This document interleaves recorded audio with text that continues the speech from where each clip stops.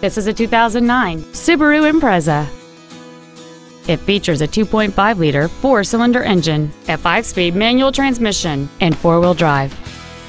Its top features include a limited slip differential, a power sunroof, a low tire pressure indicator, alloy wheels, and traction control and stability control systems. The following features are also included air conditioning, a folding second row, cruise control, a CD player, a leather wrapped steering wheel, a security system, fog lamps, an anti lock braking system, steering wheel mounted controls. And this vehicle has fewer than 17,000 miles on the odometer. This automobile won't last long at this price. Call and arrange a test drive now. Harnish Auto Family is located at 800 River Road in Puyallup. Our goal is to exceed all of your expectations to ensure that you'll return for future visits.